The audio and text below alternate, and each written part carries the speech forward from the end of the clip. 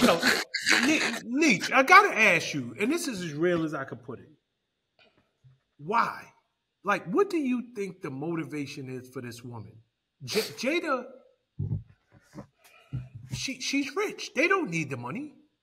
They don't need the money. You don't need to write a memoir. You don't need to be out there telling your business and in the interim killing one of the most beloved men that's walking earth right now, Will Smith. She's killing well, him. What what did you what do you think her motivation is? I know exactly what the motivation is. It's the same motivation that Joe Smith wife had. It's the same motivation that Kim Kardashian had. Clout. It's still Damn. the most Damn. addictive drug. The attention. They fiend for it. They will cross out. They will backstab anything for it. It's the same thing that got Keefe D locked up. You know, it, it, it's got all these people crashing out doing stupid and idiotic things and, and defacing, you know, uh, monuments, monumental people. Clout.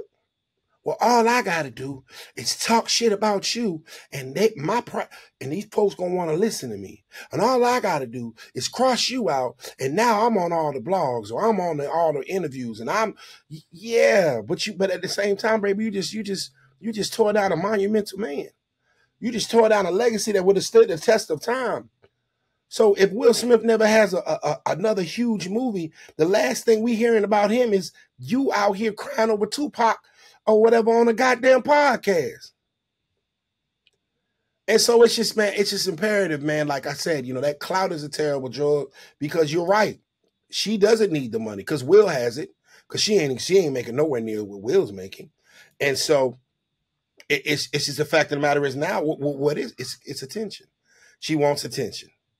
She wants her ne- her next August Alsina, her next little boy toy or whatever that that she can't keep quiet, and it's it's it's just sad because Will can't possibly understand what he's doing to his legacy. Real niggas in the world would never.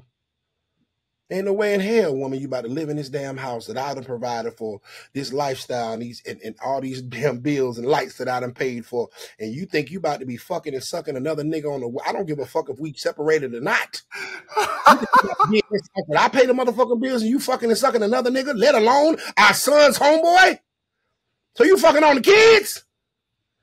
Man, if you don't get your ass out of my goddamn house and go back to the apartments you came from, Queen, because it wouldn't happen here. And I pray, I pray, I pray you'll wake up. What's up, guys? Thanks for sticking with me to the end of the video. Truly appreciate you. If you like anything you heard here today, go ahead and hit that subscribe button. And if you know anybody that can benefit from this message, feel free to share. Peace and love. Make every move a power move. And I'll catch you all on the next video.